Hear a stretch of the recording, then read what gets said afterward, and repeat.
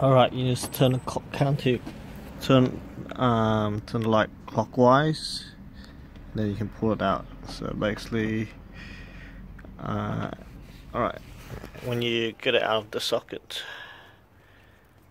um, you need to use one hand to push the white bit forward.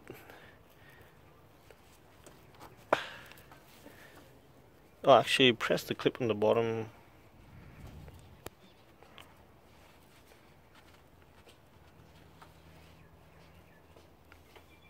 And use the other hand to pull, pull the light out.